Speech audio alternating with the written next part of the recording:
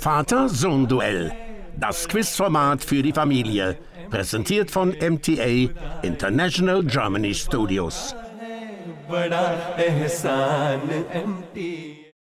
Wir sind heute im Wochenfinale und wir suchen natürlich auch die Mannschaft, die in das Staffelfinale einziehen wird. Und damit herzlich willkommen, Assalamu alaikum wa rahmatullahi wa barakatuh, zu einer weiteren Folge vom Vater-Sohn-Duell. Und das sind die Mannschaften, mit denen wir heute spielen werden, die es bis in das Finale geschafft haben. Wir haben einmal Team 1, Zubair Saib und Asadullah. Assalamu alaikum, schön euch wiederzusehen. Wa alaikum assalam wa rahmatullahi wa barakatuh. Wa alaikum assalam. Und Team 2, auch mit dabei, Mujib und Jazib. Assalamu alaikum, auch schön wieder euch zu sehen. Wa alaikum assalam wa rahmatullahi wa barakatuh. Freude ganz unser Sehr gut. Bevor wir einsteigen in das Spiel, schauen wir uns mal eure Bewerbervideos noch einmal an. Assalamu alaikum wa rahmatullahi wa barakatuh. Wir freuen uns im Finale zu sein. Die letzten Gegner waren sehr stark und wie durch ein Wunder konnten wir gewinnen. Wir hoffen, wir können dieses Wunder wiederholen. Alhamdulillah, wir haben das Finale erreicht. Wir sind gespannt, wem wir ihn antreten werden. Möge er es auch im Finale so weitergehen. Inshallah. Ja, sehr schöne Videos von den beiden Teams. Ähm, vielleicht für unsere Zuschauer, wir haben im letzten Spiel im Halbfinale Zubair Saib gesehen gehabt, als er Kniebeugen gemacht und ich glaube, er hat gar nicht mehr aufgehört, sondern einfach weitergemacht. Zubair Saib, Asadullah, wie seht ihr heute eure Chancen bei dem Spiel heute? Also wir haben versucht, uns warm zu halten, hat man ja beim Video gesehen. Also er hat weiter trainiert für die Sportrunde. Wir haben auch ein bisschen Wissenswertes noch dazugelernt und hoffen, das hilft uns jetzt weiter. Okay, sehr gut. Dann Team 2, auch ihr habt es ja bis in das Finale geschafft. Wie möchtet ihr heute den Sieg nach Hause tragen? Gut, äh, nachdem uns äh, der Gegner ja ziemlich äh, knapp Finale erreicht hat, äh, denken wir nur durch Gebet natürlich. Und äh, nichtsdestotrotz werden wir trotzdem weiter versuchen, unser Bestes zu geben. Ja, möge der Bessere gewinnen. Möge der Bessere gewinnen, waren die Worte von Mujib. Ähm, liebe Zuschauer und auch liebe Teams, wir werden heute sechs Runden spielen. Es gibt insgesamt regulär 800 Punkte zu gewinnen.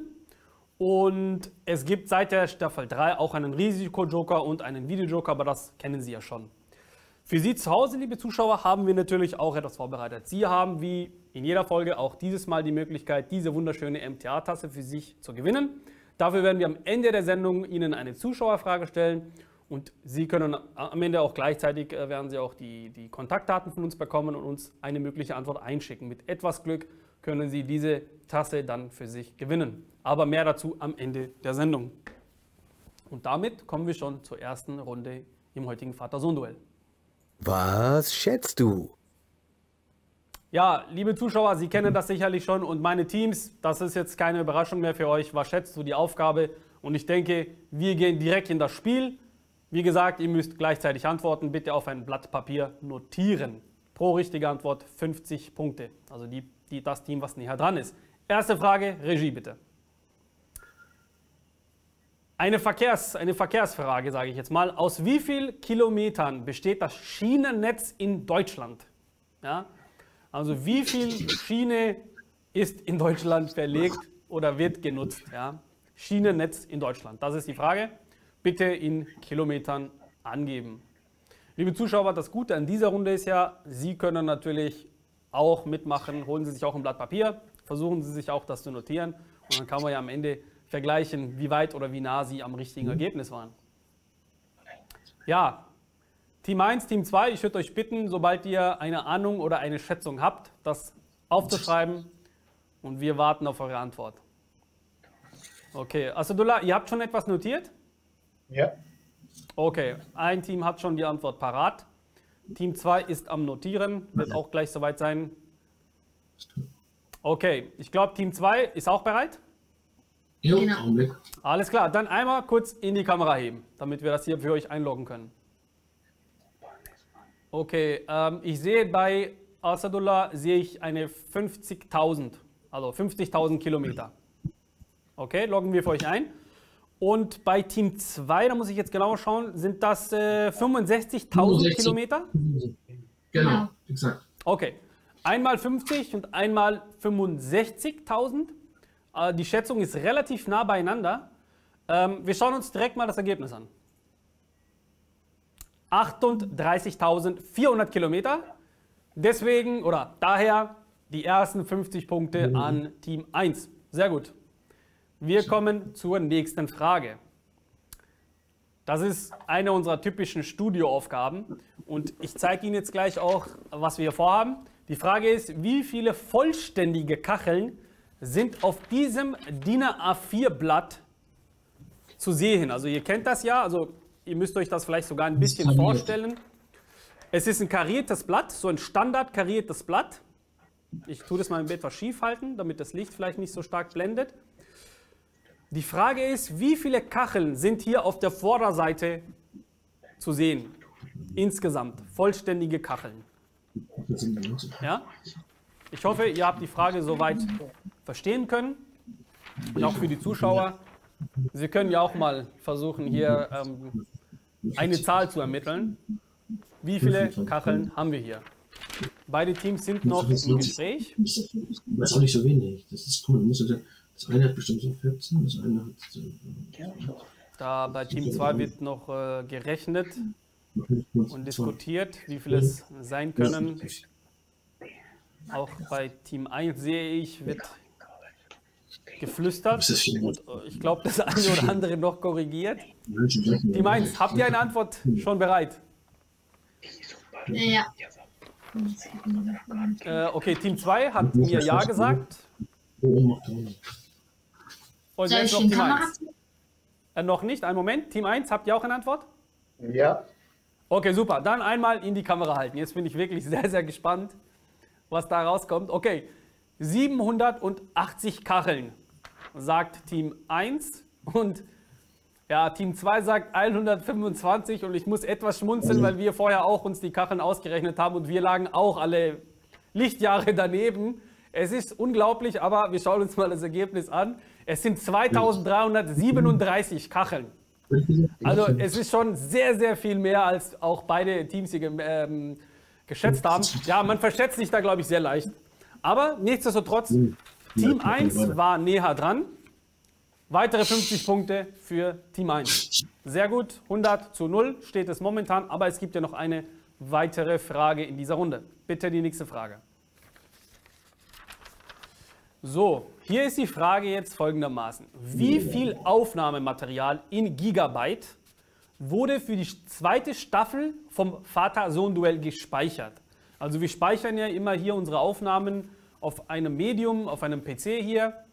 Und wir haben, ich, ich glaube, das waren 15 bis 20 Sendungen, die aufgenommen wurden. Wie viel Gigabyte Material war das? Das ist die Frage hier. Und ich würde mich gerne freuen, wenn wir jetzt hier auch von euch eure Schätzungen bekommen. Das gleiche können Sie uns noch sagen, wie viele Zuschauer. Folgen es in einer Staffel gibt? Ähm, es gibt, äh, es waren äh, 23. Äh, 20, Entschuldigung, es waren Regie, ich habe die Korrektur bekommen. Es sind 20 ähm, Folgen insgesamt gewesen. Und pro Folge ist wie viel Gigabyte? Ja, das, das sage ich euch natürlich nicht. Also so viel, so viel 1 plus 1 kann doch dann jeder. So, ich sehe, Team 1 hat eine Not- Notiz gemacht. Team 2, seid ihr auch schon soweit? Okay, ich glaube, Jazib äh, hat noch ein bisschen Diskussionsbedarf, aber er notiert schon mal etwas. Okay, alles klar. Seid ihr soweit, Team 2? Ja. Alles klar. Dann zeigt uns mal eure Ergebnisse. Ich fange bei Team 1 noch einmal an. Team 1 sagt 75 Gigabyte. Und Team 2 viel, viel mehr, 800 Gigabyte, also fast äh, das äh, Zehnfache. Und ähm, ja, schauen wir uns mal an, ähm, was hier die richtige Antwort ist. Es sind 200 Gigabyte. Äh, Team, Team 2 hat zwar viel, viel höher geschätzt, äh, aber leider etwas daneben. Team 1 ist wieder näher dran an der richtigen Schätzung und dementsprechend gehen die weiteren 50 Punkte an Team 1. Team 1, habt ihr ein Geheimnis, warum ihr so gut schätzen könnt? Nein, das Glück hat uns noch nicht verlassen. Okay, das Glück. Ich glaube, das Glück, das, äh, wer weiß, vielleicht braucht ihr noch ein bisschen mehr davon. Es geht, wir sind ja in der ersten Runde. Aber sehr gut, sehr gut gespielt. 150 Punkte für Team 1, 0 Punkte bisher für Team 2. Und liebe Zuschauer, wir kommen jetzt in die nächste Runde. Buchstabensalat. Ja, liebe Zuschauer, in dieser Runde wird es wieder etwas interaktiver werden. Liebe Teams, ihr habt ja sicherlich äh, Vater-Sohn-Duell schon öfters mal geschaut. Die Aufgabe, die ihr jetzt gleich haben werdet, ist folgende. Ihr müsst Dinge sammeln, die mit dem Buchstaben P beginnen. Ihr werdet insgesamt 60 Sekunden Zeit haben. Und eine wichtige Bitte, nach, nachdem die 60 Sekunden vorbei sind, müssen beide Teilnehmer von den jeweiligen Teams am Platz sein. Also das ist ganz wichtig, weil sonst müssen wir dann rigoros da ein bisschen äh, euch die Punkte streichen. Deswegen achtet bitte darauf, äh, genau nach 60 Sekunden, spätestens nach 60 Sekunden wieder am Platz zu sein. Okay?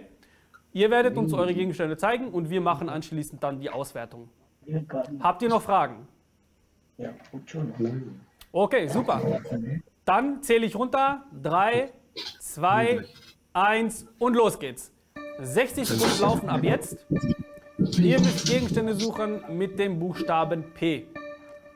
Und wir sehen, liebe Zuschauer, beide Teams, ich sehe noch äh, Subersab hier am Tisch noch etwas machen, aber beide Teams ähm, und beide Teammitglieder, alle Teams, Teammitglieder sind jetzt ausgeschwärmt und suchen jetzt nach Gegenständen mit P. Ich bin wirklich gespannt, was da jetzt gleich bei rumkommt. Auch hier bei dieser Aufgabe, es hört sich ja spontan, wenn man vielleicht auf dem Sofa sitzt und sagt, ja, P ist doch ganz einfach, es gibt doch das und das und das. Versuchen Sie das auch mal gerne zu Hause, äh, mit diesem Zeitdruck ähm, so viele Gegenstände wie möglich zu finden, mit P. Ja? Liebe Teams, Hinweis für euch, 20 Sekunden sind übrig. Also langsam könnt ihr eure Sachen an den Tisch bringen. Noch 14 Sekunden.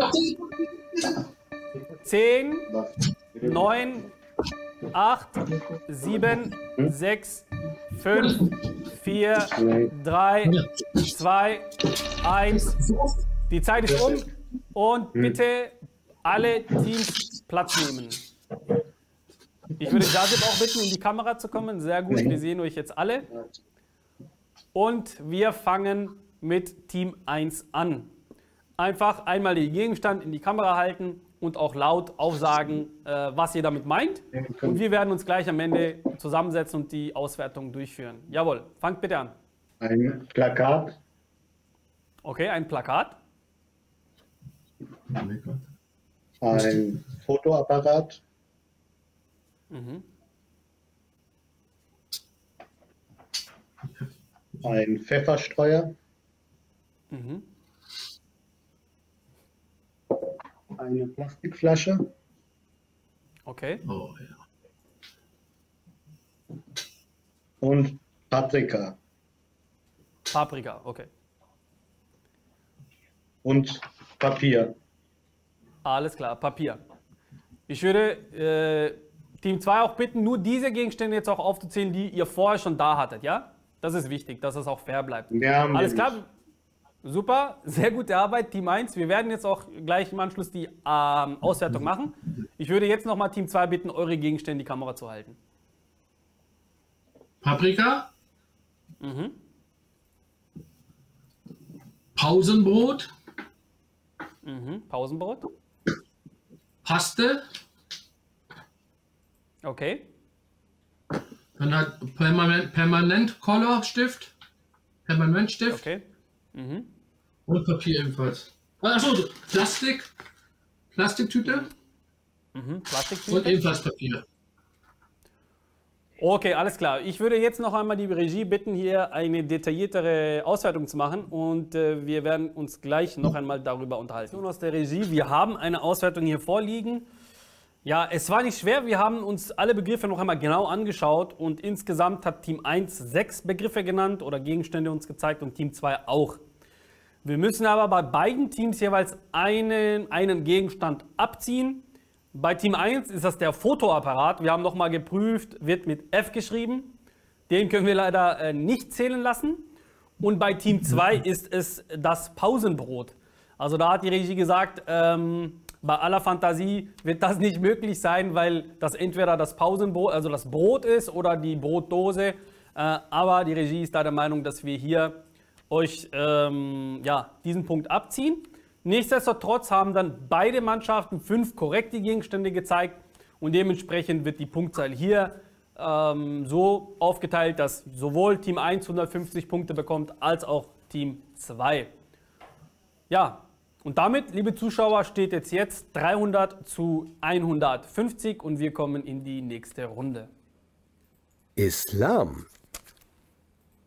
Ja, liebe Zuschauer, in dieser Runde werden die Islamkenntnisse unserer Teams hier auf die Prüfung gestellt.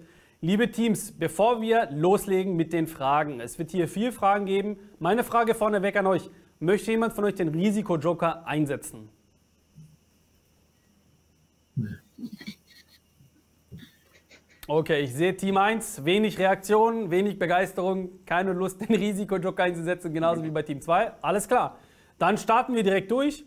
Wir fangen bei Team 1 an mit der ersten Frage. Die Frage ist folgende. In welchem Jahr fand die erste Jalsa Salana in Deutschland statt? War es 1891, 1965, 1976 oder 1983? In welchem Jahr fand die erste Jalsa Salana statt? Wir sagen 1976 C.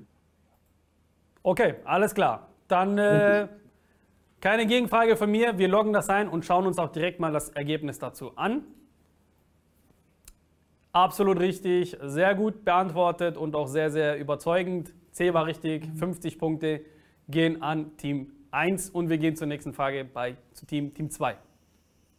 So, Mujib, Jazib, eure Frage ist hier. Wann fand die Jalsa Salana Deutschland das erste Mal in Nasserbach Groß-Gerau statt? Also es geht jetzt vor allem darum, in Groß-Gerau die erste Jalsa Salana. 1979, 1980, 1985 oder 2001?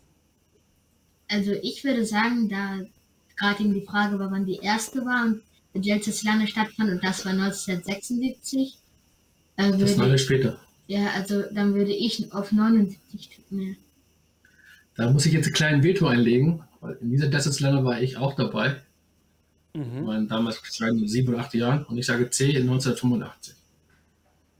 Ah, okay. Ich glaube, der Mujib hatte sich da taktisch noch zurückgehalten, wollte noch mal gucken, was der Jazem sagt.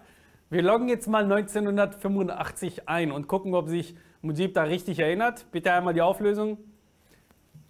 Sehr gutes Gedächtnis, Mujib. Richtig beantwortet. 50 Punkte für euch. Und wir gehen wieder zurück zu Team 1. Eure Frage ist die folgende. Welche dieser Suren des Heiligen Korans ist nach einem Propheten benannt? Ist das Surah Al-Hud, Surah Al-Imran, Surah Al-Luqman oder Surah Al-Shams?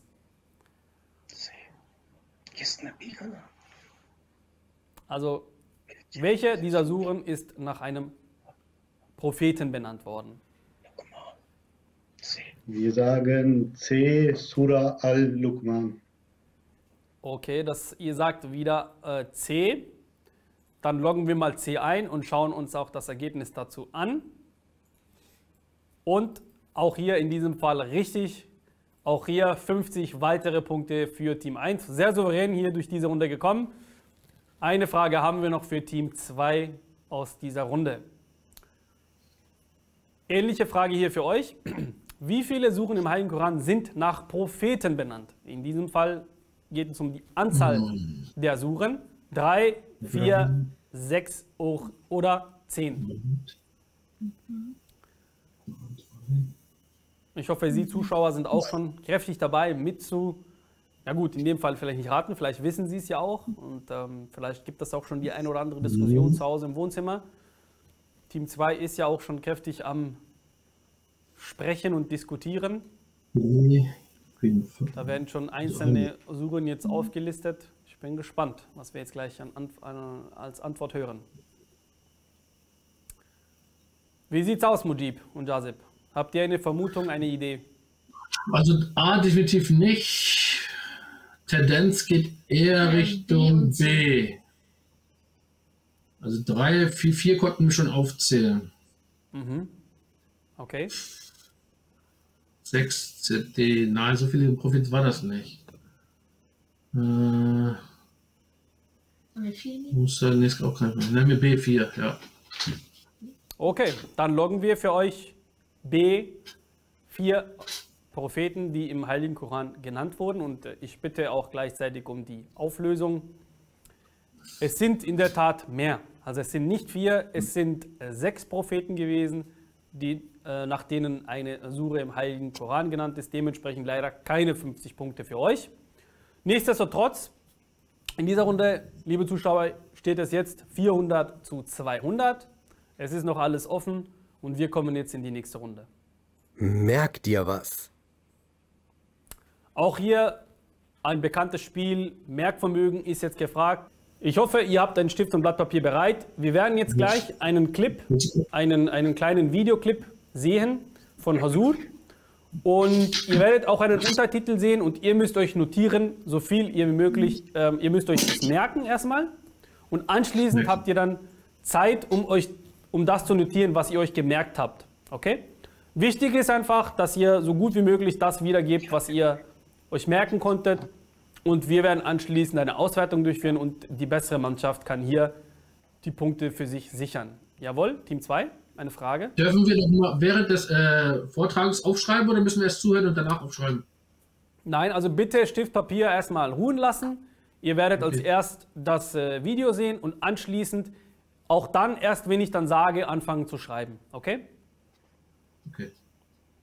Alles klar, dann bitte ich einmal, das Video einzublenden. یہ سب دجال ہے اس لیے اسلام کے بارے میں بھی غلط باتیں افواہیں پھیلا پھیلا کے اور اسلام کی تعلیم کے بارے میں غلط باتیں پھیلا کے لوگوں کو غلط رستے پہ چلاتے ہیں۔ وہ دجال ہی ہیں۔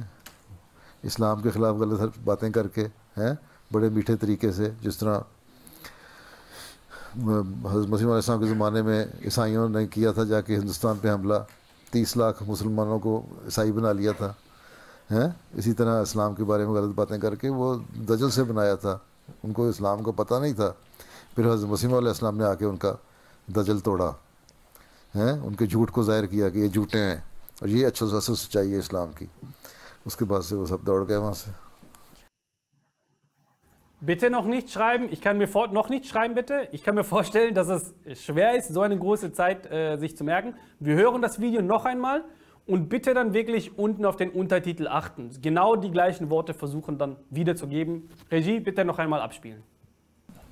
ये सब दजाल है इसलिए इस्लाम के बारे में भी गलत बातें अफवाहें फैला फैला के और इस्लाम की तालीम के बारे में गलत बातें फैला के लोगों को गलत रास्ते पे चलाते हैं वो दजाल ही हैं اسلام کے خلاف غلط باتیں کر کے، ہیں، بڑے میٹھے طریقے سے، جس طرح حضرت مسیم علیہ السلام کے زمانے میں عیسائیوں نے کیا تھا، جا کے ہندوستان پہ حملہ، تیس لاکھ مسلمانوں کو عیسائی بنا لیا تھا، ہیں، اسی طرح اسلام کے بارے میں غلط باتیں کر کے وہ دجل سے بنایا تھا، ان کو اسلام کا پتہ نہیں تھا، پھر حضرت مسیم علیہ السلام نے آ کے ان کا دجل توڑا، ہیں، ان کے جھوٹ کو ظاہر کیا کہ یہ جھوٹے ہیں، اور یہ اچھا سا سچائی ہے اسلام کی۔ उसके बाद से वो सब दौड़ गए वहाँ से So, das war das Video. Ich werde jetzt den Countdown anzählen und danach könnt ihr losschreiben. 3, 2, 1 und los geht's. Die 60 Sekunden laufen. Wie gesagt, achtet bitte auf die korrekte Schreibweise in der Hinsicht, dass, wir, dass ihr so viel wie möglich von dem Untertitel, der angegeben wird, wiedergeben könnt. Und auch hier, liebe Zuschauer, wie sieht es so aus? Ich hoffe, Sie haben auch jetzt gut zugehört. Ähm, und Sie haben jetzt auch ein Blatt Papier in der Hand und versuchen das mal mitzumachen, weil auch hier, es ist viel, viel einfacher oder es ist viel, viel schwerer, als es aussieht. Ähm, das waren gut 30, 45, 30, 40 Sekunden und da passt schon sehr viel Inhalt rein, was Sosud auch hier uns äh, mitgegeben hat über das Thema Dajjal. Und äh, lassen wir uns mal überraschen, was die beiden Teams hier schreiben. In beiden Fällen sehe ich, sind das die Papas, äh, die hier schreiben. Einmal Zubair Saab und einmal äh, Mujib. Ihr habt jetzt noch 10 Sekunden und danach bitte aufhören zu schreiben, ja? Jetzt sind es noch 5, 4, 3, 2, 1 und fertig. Ich würde bitten, beide Brüder die Stifte loszulassen. Keine Notizen mehr. Jazakallah, vielen Dank. Und jetzt gehen wir einmal in die Auswertung der Aufschriebe. Ja, liebe Zuschauer, wir haben die Auswertung gemacht. Liebe Teams, Die Zahlen liegen hier vor mir. Ja, äh, fange ich mal mit Team 1 an. Team 1 hat insgesamt 23 Wörter aufgeschrieben. Vielleicht seht ihr auch die Aufnahme hier von unserer Regie eingeblendet. Und wir haben 15 Wörter identifizieren können, die auch mit diesem Text vorher, der eingeblendet wurde, zu vereinbaren ist. Und dementsprechend, wie gesagt, 23 Wörter, aber 15 werden wir so auch zählen lassen, die auch inhaltlich eine gewisse Aussage erbringen. Ja, jetzt ist natürlich für Team 2 wichtig, diesen Sieg hier oder zumindest den Rundensieg für sich zu sichern, um noch einigermaßen hier mithalten zu können. Und deswegen äh, würde ich jetzt mal das Ergebnis von äh, Team 2 kurz vorlegen. Ja, Team 2 hat 30 Wörter, aber die Wörteranzahl alleine ist ja nicht ausschlaggebend, sondern wie viel wir daraus lernen und ähm, verstehen können. Und am Ende des Tages waren es 23 Wörter, die so dargelegt und niedergeschrieben waren, dass es eine gewisse Aussage tätigt. Und dementsprechend hat äh, Team 2 diese Runde für sich entscheiden können. Wie gesagt, einmal sind es die 15 aussagekräftigen Wörter und einmal die 23. Dementsprechend gehen 150 Punkte an Team 2. Das waren wichtige Punkte. Konnte, Team 2 konnte jetzt nicht ganz ran, aber ist schon sehr, sehr nah dran an Team 1. Und liebe Zuschauer, wir kommen jetzt zur nächsten Runde, die vielleicht sogar auch eine entscheidende Runde werden kann. Was weißt du? Ja, Zuschauer, liebe Zuschauer, hier geht es um unser Allgemeinwissen. Äh, liebe Teams, bevor wir in die Runde einsteigen, würde ich beide einmal fragen. Ihr habt beide noch euren Risikojoker. Ist jemand bereit, jetzt schon vielleicht den Schritt zu gehen und sagen, ja, ich brauche den Risikojoker, den möchte ich jetzt haben? Keiner möchte den Risikojoker einsetzen. Okay, alles klar. Äh, diese Runde war ja Allgemeinwissen. Ich habe gedacht, vielleicht meldet sich ja einer und sagt, okay, ich bin da stark in diesem Gebiet. Alles klar, dann lassen wir den Risikojoker weg und wir steigen direkt in die Runde ein mit Team 1. Wie gesagt, Sie, bekommt, Sie bekommen zwei Fragen gestellt. Das ist die erste. Sie sehen in der Mitte eine Flagge. Und die Frage ist jetzt, zu welchem Land gehört diese Flagge? Lettland, Nigeria, Slowenien oder Namibia? Hier würde ich gerne um euren Eindruck, um eure Antwort euch bitten. Ihr könnt mich gerne auch teilhaben lassen an euren Überlegungen. Vielleicht können die ja, Zuschauer dann auch so ein bisschen nachvollziehen. Dass wir Lettland und Slowenien schon mal so gut wie ausschließen können. Mhm, okay. Und Nigeria meint er auch, ist eine andere Fahne. Deswegen nehmen wir den Namibia. Aber sicher okay, sind wir uns da nicht. Mhm. Ja, ich weiß, dass Bersab öfters mal im, in, in, in, Osteuropa unterwegs ist. Also er hat ja sofort Lettland und äh, Slowenien ausgeschlossen. Ihr sagt jetzt Namibia, ist das richtig? Auf D? Ja. Okay, alles klar. Dann loggen wir für euch D ein und wir schauen uns mal das Ergebnis dazu an. Leider falsch. Es ist Nigeria. Also ähm, ihr müsst vielleicht auch mal nach Afrika reisen, denn dann äh, wird, da werden die auch etwas äh, fester werden in den Flaggen von Afrika, aber leider in dem Fall falsch. Aber es gibt ja noch eine weitere Frage. Zunächst einmal gehen wir aber weiter zu Team 2. Ihr seht auch eine Flagge. Auch die gleiche Frage. Über welches Land sprechen wir hier? Kuba, Estland, Äthiopien oder Georgien? Also, ich also muss sagen, die Flagge ist schon sehr exotisch. Ja, das Estland, was, was also Estland würde ich selber erstmal ausschließen, Georgien auch. Jetzt mhm. weiß ich nicht, Kuba oder Äthiopien. Wie sicher bist du mit BD ausschließen? Sehr sicher. Also Sehr sicher. Also bei Estland bin ich bei 100%, bei Georgien so 95%. Und da ich die Kuba-Flagge auch kenne, oder ich meine die zu kennen, tendieren wir zu C, Äthiopien. Okay, also das war sehr schön auch euch äh, mitzuhören und das war schon sehr, sehr gutes Teamwork. Also der eine hat das eine ausgeschlossen, der andere das andere. Ich logge jetzt für euch C ein, das habt ihr ja gesagt. Und wir schauen uns mal die Antwort dazu an. Richtig, richtig, sehr gut gemacht, sehr gutes Teamwork, also wirklich eine äh, schöne, schön, schöne Teamleistung. 50 Punkte für euch und wir gehen jetzt wieder zurück zu Team 1. ja, Team 1, Zubair Saab und Asadullah, welche Flagge sehen wir hier? Welches Land? Panama, Zimbabwe, Albanien oder Gambia? Ich muss sagen, unsere, unsere Mannschaft hat natürlich ja ganz fiese Flaggen hier ausgesucht. Ähm, die sind nicht Ja, so Panama einfach. und Albanien könnte man schon mal ausschließen. Mhm. Jetzt überlege ich gerade, wie Gambia aussieht oder Simbabwe. Er sagt Simbabwe, aber er lag auch vorhin schon falsch. Deswegen überlege ich noch mal. Oh, das ist, äh, ja, da kommen natürlich Zweifel auf. Wir haben vorher, ihr habt schon 50 Punkte liegen lassen vorher. Ah ja, ja, wir nehmen B, Simbabwe. Okay, alles klar. Da hört Asudullah auf, sein, auf seinen Vater und sagt, äh, Zimbabwe, wir loggen jetzt B ein. Wir schauen uns mal auch direkt das Ergebnis dazu an. Richtig, sehr gut. Ich glaube, äh, Zubair hat seinen Fehler von vorhin nochmal wettgemacht und 50 Punkte zumindest in dieser Runde habt ihr euch gesichert. Sehr gut. Das war für euch die letzte Frage und wir kommen jetzt auch zu Team 2 mit äh, der letzten Frage für Team 2 in dieser Runde. Welche Flagge haben wir hier? Also es wird nicht leichter. Es ist Uganda, Papua-Neuguinea, Mali oder Kamerun. Also Uganda und Kamerun kann ich selber zu 100% ausschließen. Und Mali und Papua-Neuguinea, da bin ich Guinea. Also Jazim es scheint mir sehr fest zu sein, was, was die Flaggen angeht. hä? Ich glaube, du passt hat auch so auf in Erdkunde. Gelb. Uganda hat auch sehr viel Gelb, aber ich glaube, du hast recht, Uganda kann man ausschließen. Ich sag, ich tendiere, glaube ich,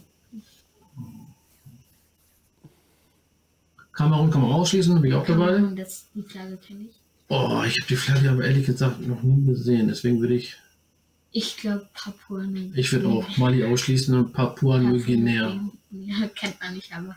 Genau, nehmen wir B. Vicky Deggy. Okay, wir sehen. wir haben euch ja gut zuhören können und eure Denkprozesse nachvollziehen können. Wir loggen für euch B ein, Papua-Neuguinea.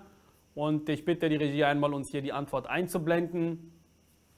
Leider falsch. Leider falsch, äh, Mujib und Jazib. Ihr habt euch äh, genauso viel Mühe wie vorher gegeben, aber diese 50 Punkte können wir euch jetzt leider nicht geben. Ja, es wird sehr, sehr spannend. Also das kann ich jetzt nur sagen. Es steht jetzt, liebe Zuschauer, 450 zu 400 und wir spielen noch genau eine Runde, nämlich die Sei Aktiv-Runde. Und ja, was soll ich sagen? Das wird jetzt definitiv die entscheidende Runde sein. Sei aktiv. Ja, liebe Zuschauer, wir kommen jetzt zur letzten und zur entscheidenden Runde hier heute beim Vater-Sohn-Duell. Liebe Teams, ich hoffe, ihr seid bereit und vor allem, ihr seid fit. Darum geht es nämlich bei Sei aktiv. Wir haben schon bei den, bei den verschiedenen Teams ja einige Sportübungen durchgeführt. Heute geht es um Liegestütze. Ich meine, das Wort erklärt sich ja fast schon von sich selbst. Aber ich zeige euch das gerne auch einmal, wie wir uns eine, ja, eine gute Liegestütze vorstellen. Ja? Also dementsprechend bitte nachher so uns das Bild zeigen, dass wir euch gut sehen können. Dann geht ihr in die Liegestütze-Position, einmal die Ellenbogen durch, durchstrecken und einmal komplett runter. Und auch hier dann dementsprechend auf eine gute Körperhaltung achten und vor allem hier die, Liegest äh, die Ellenbogen auch immer schön durchdrücken. Das ist die Aufgabe, die wir jetzt haben. In dieser Runde könnt ihr 150 Punkte gewinnen. Ja, und diese Runde wird entscheiden, wer am Ende des Tages heute in das Staffelfinale einzieht. Und ähm, ja, es ist eine sehr sportliche Übung. Ich frage jetzt mal beide Teams, wer diese Übung jeweils dann durchführen wird. Ich fange mal beim Team 1 an. Wer wird diese Aufgabe bei euch machen? Diesmal? Ja. Okay, ist das, ist das entschieden, Asadullah? Ja, ich muss das akzeptieren. Ich hatte ihn ja das letzte Mal vorgeschoben. Jetzt bin ich Ja, dran. letztes Mal hat er ja Subersab die, die Kniebeugen mach, gemacht äh, und auch erfolgreich, muss ich sagen. Okay, bei Team 1 ist es Asadullah, bei Team 2. Wer macht das bei euch? Äh, mein Vater. Okay, okay. Mujib scheint mir nicht so begeistert zu sein, aber so ist es. Absolut In dem. Fall Ich hatte gestern ist es ja. Diesmal ist es ein richtiges Vater-Sohn-Duell, weil wir auf der einen Seite haben wir dann natürlich den Sohn Asadullah und auf der anderen Seite Mujib. Ja, dann machen wir das so. Team Nummer 1 wird beginnen. Ich würde bitten, dass Asadullah sich in Position begibt und so am besten, dass wir dich gut in der Kamera auch in der gesamten Länge deines Körpers auch dann sehen können. Team 2 kann erstmal gerne sitzen bleiben. Habe jetzt die Information und ich sehe auch schon, dass Asadullah in Position ist. Asadullah, alles gut bei dir? Einmal kurz Daumen hoch. Okay, wie gesagt, du hast jetzt 60 Sekunden Zeit und ich zähle von 3 runter und danach läuft die Zeit, ja? 3, 2, 1, los geht's. Es sind 60 Sekunden Zeit vorhanden da und ich sehe schon, ich muss sagen, Asadullah hat schon ein ordentliches Tempo und ich sehe die Reaktion von Mujib, er schwenkt leicht den Kopf. Das sieht schon sehr, sehr sportlich aus. Also ich muss ja auch schon äh, lachen, weil es ist schon, schon, so, schon sehr, sehr sportlich, was er da an den Tag legt. Liebe Zuschauer, ich habe ganz vergessen, Sie auch anzusprechen. Machen Sie gerne mit.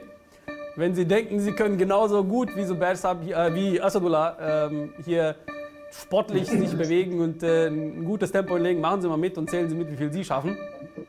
Asadullah ist schon am Limit jetzt. Asadullah, du hast jetzt noch gut 15 Sekunden Zeit. Oh, er ist fertig. Er, er sagt, es ist vorbei. Ich hab's schnell gemacht. okay, wenn die Zeit läuft dir sowieso ab. Ähm, du hast, glaube ich, aber trotzdem in der Zeit, die du hattest, sehr, sehr gut ähm, sich bewegt und auch, äh, ich glaube, die Liegestütze an sich waren auch sehr, sehr gut ausgeführt. Werden wir uns aber auch gleich nochmal im Detail anschauen. Wie fühlst du dich? Es geht. Ich habe das, was ich konnte, in der schnellsten Zeit, die ich machen konnte, gemacht. Okay, sehr gut. Dann, äh, wir werden uns jetzt in der Auswertung kurz anschauen, wie viel Liegestütze du insgesamt geschafft hast.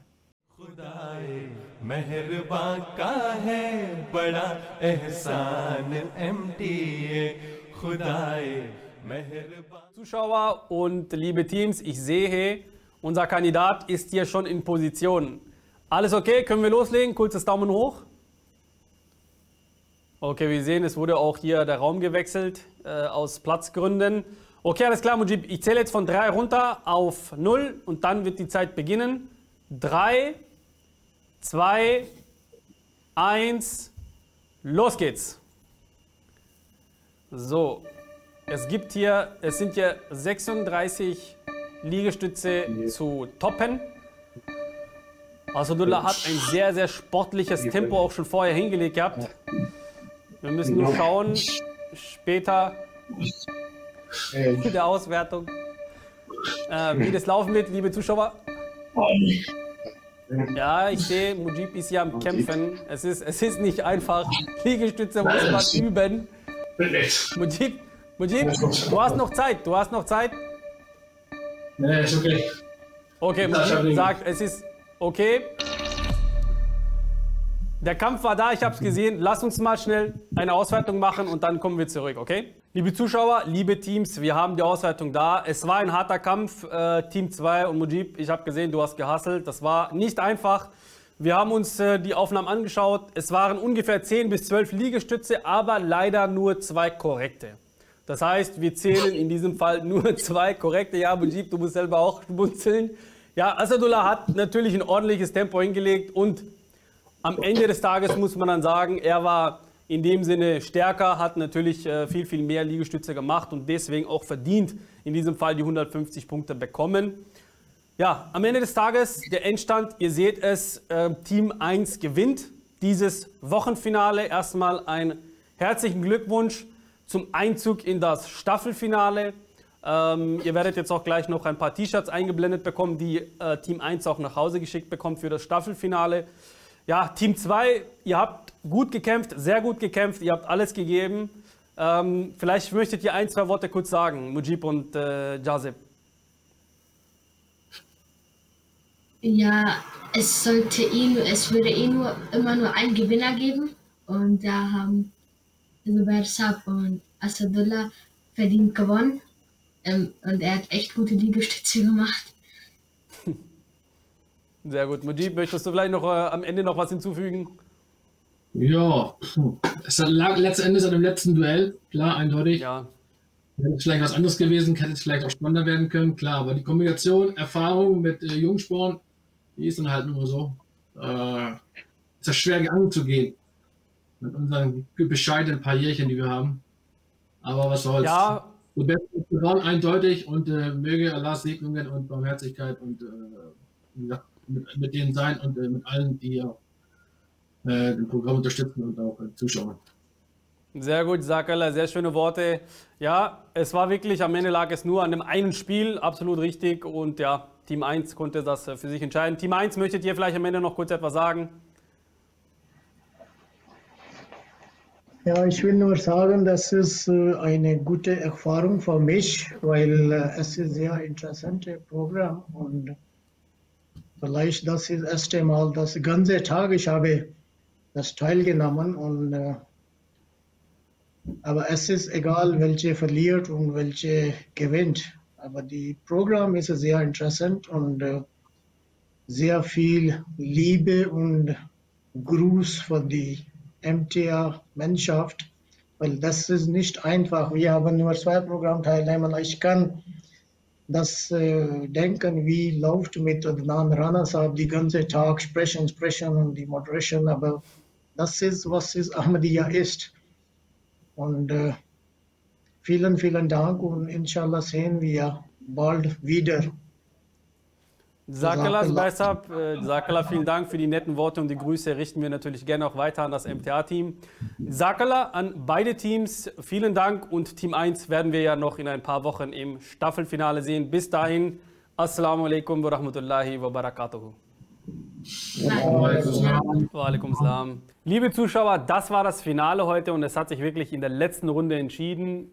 Team 1 war etwas besser, konnte etwas mehr Liegestütze hinlegen und hat dementsprechend den Sieg für sich entschieden und wird jetzt im Staffelfinale nochmal zu sehen sein.